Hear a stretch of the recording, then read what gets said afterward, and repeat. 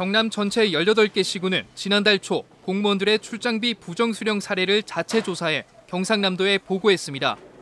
하지만 경상남도 감사관실은 구체적인 이유 없이 조사 결과를 공개하지 않고 있습니다. 검찰인가요? 조사를 들어가 보면 우리가 그 조사 결과에 대해서는 내부가 에서는 공개를 못하게 되어 있으니까 경남 도의원이 요구하자 사실상 한 장짜리 결과 보고서만 제출했습니다. 경남 18개 시군 전체 공무원은 19,000여 명.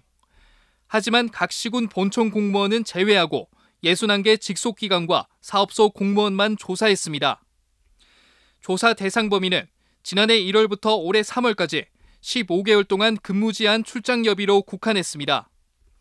그 결과 경남 공무원 117명이 주의와 훈계, 구두 경고를 받았고 출장 여비 3천만 4천 원이 환수 조치됐습니다. 지방 공무원 수당 규정에 따라 출장 여비를 부정 수령하면 두 배 가산 징수해야 하지만 원금만 돌려받았습니다. 부정 수령에 고의성이 없다는 이유에서입니다. 의도적으로 우리가 대신자가 보지 않고 관련 비용 출장에 정의를 내주는 보고를 잘못 이해해가지고 그냥 실제로 출장기로 볼 수 없는 것을 하지만 행정안전부는 고의성 여부를 떠나 무조건 출장 여비 원금의 두 배 더한 금액 총 3배를 돌려받아야 한다고 말합니다. 위법한 출장이라고 자체 감사에서 판정이 된다고 하면 해야 되는 거죠. 게다가 앞서 KBS 뉴스를 통해 제기된 김해시 장유 출장소 공무원들의 부정 수령 의혹은 확인조차 하지 않은 것으로 드러났습니다. 행안부는 최근 출장 여비를 부정 수령하면 5배까지 가산 징수하는 등 근절 대책을 발표했지만 공무원들의 제 식구 감사기는 여전합니다.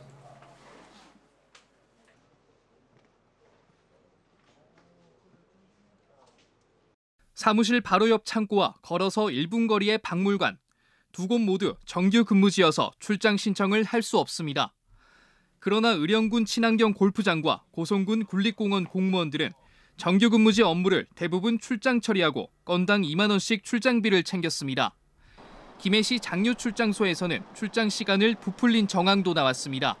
이런 가운데 일부 공무원들은 근무지를 옮기는 전출자를 배웅하는 것도 출장을 신청해 출장비를 받은 것으로 드러났습니다. 경남 보건환경연구원과 산림환경연구원의 공무원들은 올해 초 관해로 전출자 환송을 다녀와 1인당 출장비 3만 원 이상을 챙겼습니다. 그래서 그 같이 가지고 그 직원이 이렇게 근무 잘하도록 격려해 주는 거는 그 공무원 생각, 공무원으로 생각하는데 행정안전부는 전출자 환송만을 목적으로 출장을 가는 건 공무로 보기 어렵다고 해석했습니다.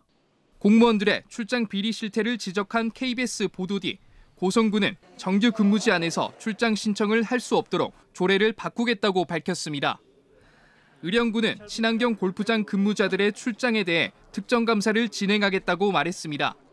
하지만 전문가들은 공무원들의 출장 비리를 막으려면 불시 감사와 처벌 강화가 더 효과적이라고 지적합니다.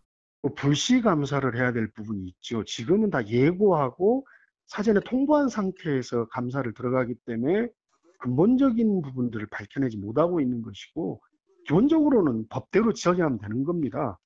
또 공무원들의 관행적인 출장 여비 수령에 대한 전수조사도 필요하다는 지적이 나옵니다.